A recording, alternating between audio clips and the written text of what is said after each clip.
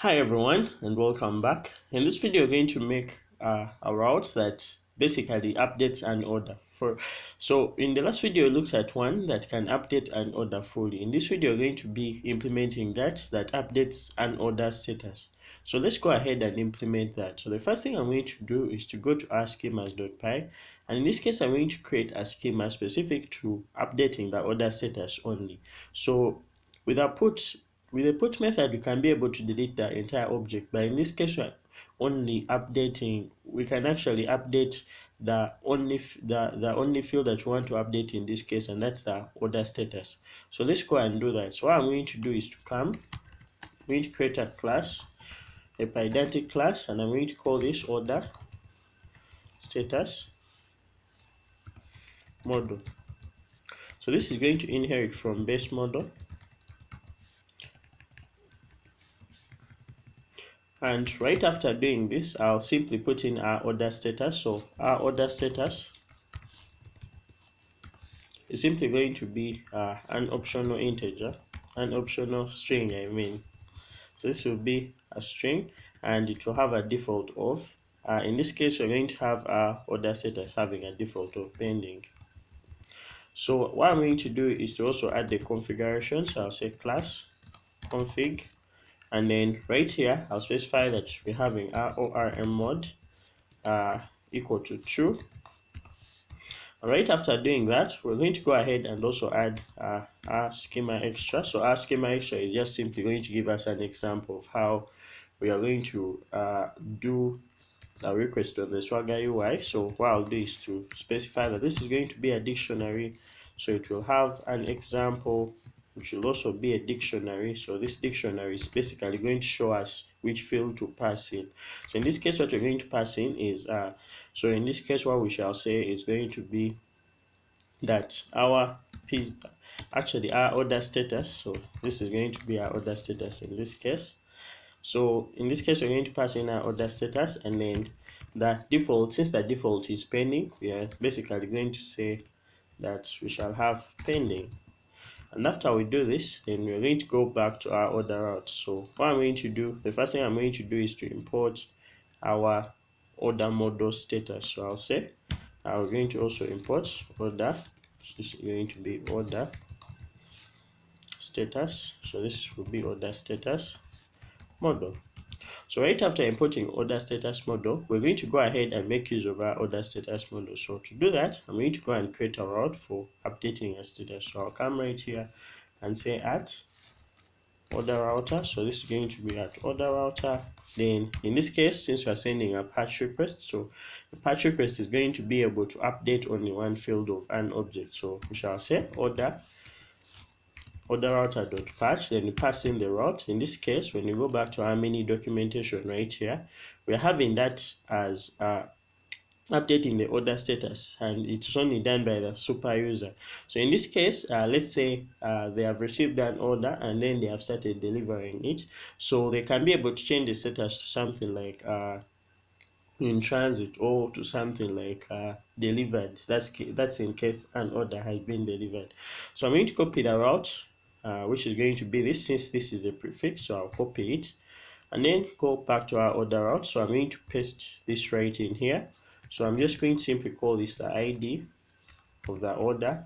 And then I'm going to create a function. So this is going to be async def. And then this will be update.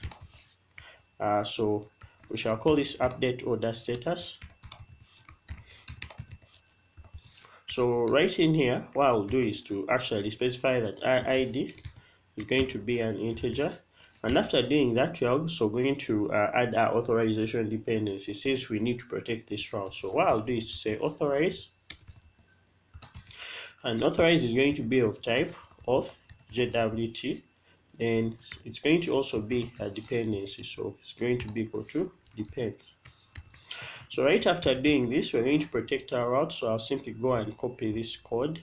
I'm going to copy this line, this block of code, and then paste it right in here. So this is going to protect our route uh, so that we require a JWT to access it. So let me fix this indentation right here. And right after doing this, uh, the next thing is going to be to uh, get the currently logged in user. And since this request is carried out by a super user, we shall need to check if this currently logged in user is a super user. So to do that, I'm going to get the username. So I'll say username is going to be equal to. So the username is kept under the subject of the JWT. So in this case, to get the username, we shall say authorize dot get. In this case, is going to be JWT subject. And right after doing this, I'm going to go ahead and query for a user with a specific username. So we shall say current user is going to be equal to, so in this case, we shall say uh, session dot query. And we're going to query for a user. So we're going to query for we're going to filter for the user with that specific username. So what i'll do is to say uh, user dot username in this case, we're going to say user.username, and if the username is equal to our username, then we want to return the first object with that specific username. So right after doing this, then we're going to go ahead and check if the super user is a super user. So every super user has the dot is uh, staff uh, attribute on the model equal to true. So to do that, we shall say if current user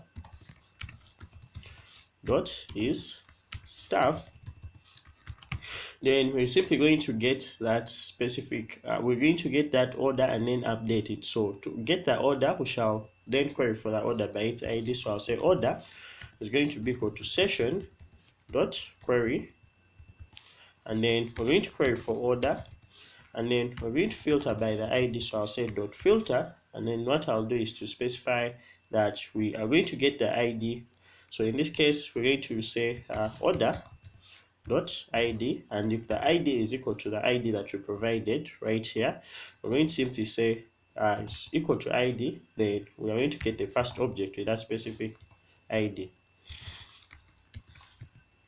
so right after doing this uh, what we're going to do is to update this order. So we created our order status model right here and this order status model is going to help us to validate the data that we're going to pass within our our actually that we're going to pass to our API from any client. So what I'll do is to come right here and I'll also add the order status. So I'm just going to simply come right here, put this on a new line. Then what I'll actually do is to say that we're going to have an order and this is going to be of type order status model. So main our order status model right like this. So after doing this uh hoping that everything is fine i'm going to come right here and what i'll do is to update this order. So i'll do is to say order dot. So in this case we shall say order dot. Actually this is going to be order status. Actually what i'll do is to call this order to update since to make things uh, not confused. So what I'll do is say this is going to be order to update and this is going to actually be order to update dot order status. Then we shall simply say that that is going to be equal to uh, the order we've passed in right here. So we shall say it's going to be equal to order dot actually let me so this is going to actually be order dot order status. So right after doing this we shall go just commit our session. So going to say session dot commit. And what we shall do is to just simply return our object. So to do that we're going to just come and say return JSONable encoder. So we're going to return our JSONable encoder. And then we shall return order to update. So I'm going to save this. So right now I can see that I have an error. Uh, my linter is showing me an error and I think it's uh, so we see raise HTTP exception. We didn't close this parenthesis so I'm going to close it. And when I close it now the next thing we're going to do is to run our server and test this route. So what I'll do is to save and then I'm going to pull up the terminal and I'm going to simply run. So I'm going to search for that command again. So actually what I'll do is to just I tried to search for that command. So let me just type it normally. So I'm going to say uvicorn main. Since the main module is what is having our main app instance. So I'll say app. And then I'll specify the reload option. So this is going to basically run our server. And hoping that everything is fine. Our server is going to run. So right now we see uh, special form does not support item assignment. So what we're going to do is to check this. So i'm going to go ahead and check our schemas. So right here in our schemas you see that actually this is supposed to be a type. It's not actually uh, unequals we made a mistake because even here you see that we assigned the type and then we specify that it's equal to a default uh, value. So when I save and our server is going to restart hoping that everything is fine.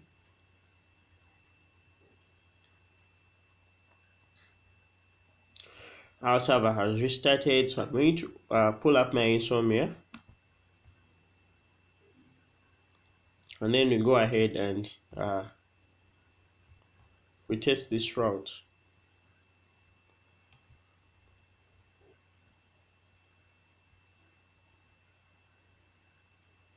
we need to go to my insomnia right here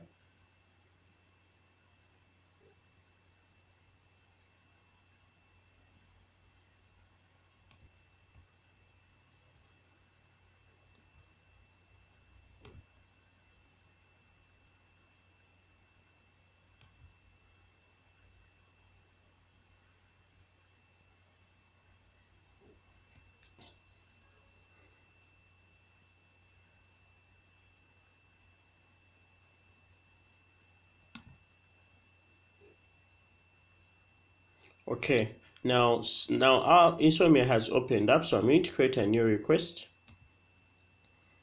Now this new request is going to be to update and order status. So i'm going to create this request and it's going to be a patch request so i'm going to create this. And what i'll do is specify that our body is going to be of type json now I'm going to add the route, so I'll come back to our code right here and I'm going to go to the order routes. So I'm going to do is to copy this URL. Sorry for that. So I'm going to copy this URL and head over to Insomnia and then I'll paste this in. So I'll specify the ID of an order. So then I'll also add the prefix so this is going to be a localhost 8000 slash orders.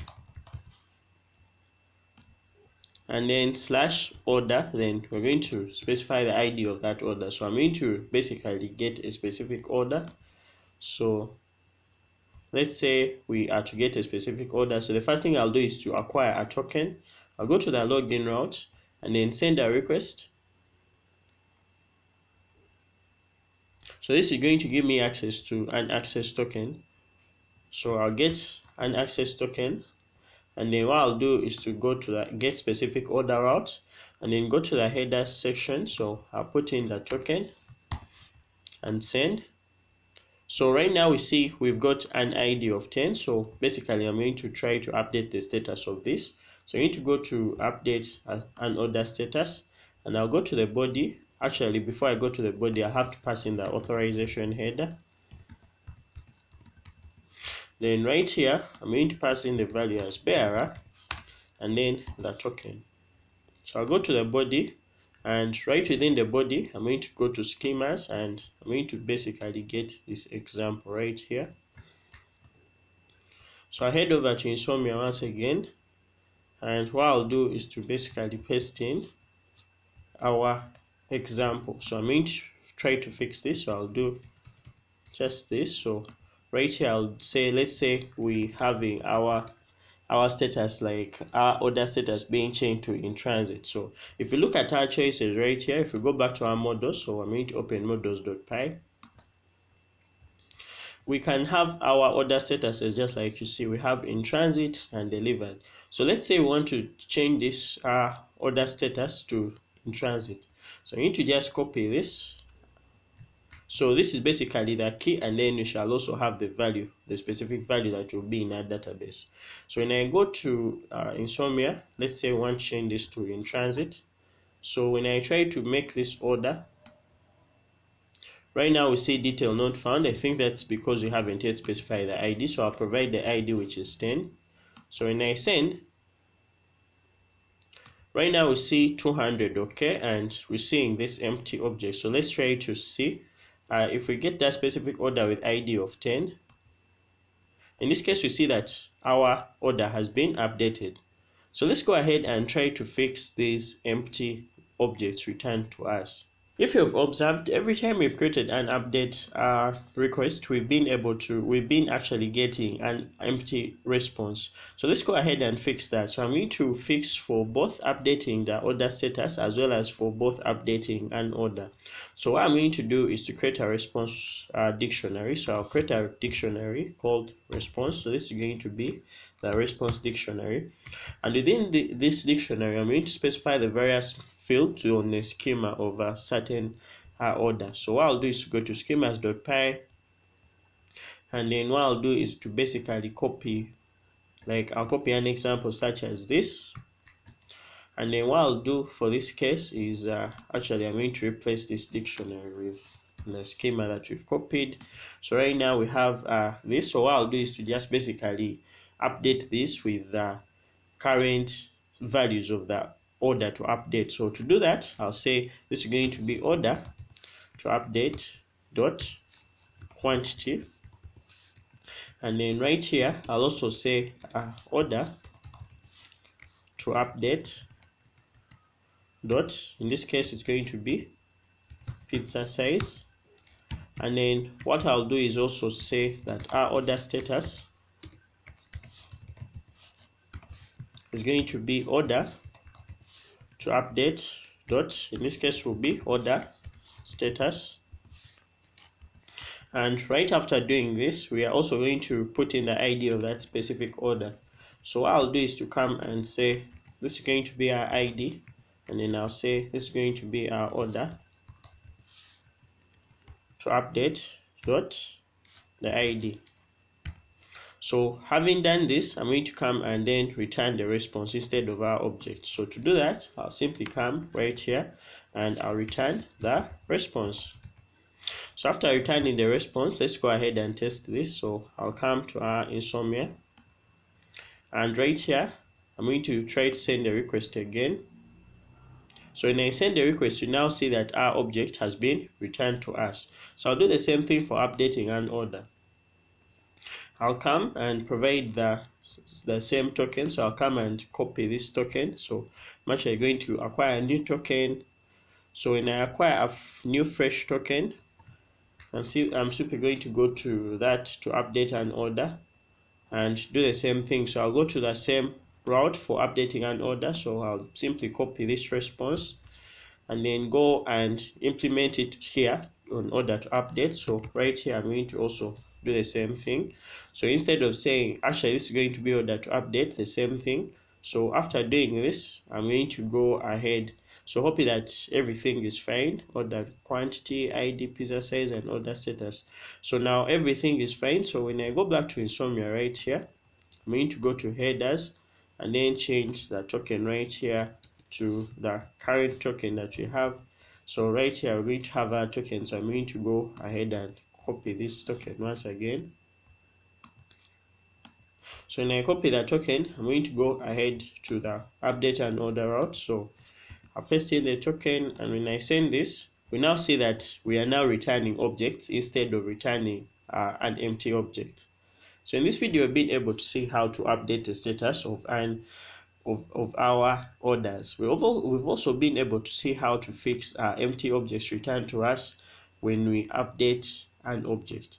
Thank you for watching guys and if you're new to this channel please go ahead and leave and subscribe to this channel. Please hit the like button. It helps me out a lot. Thank you for watching guys. See you in the next one. Bye.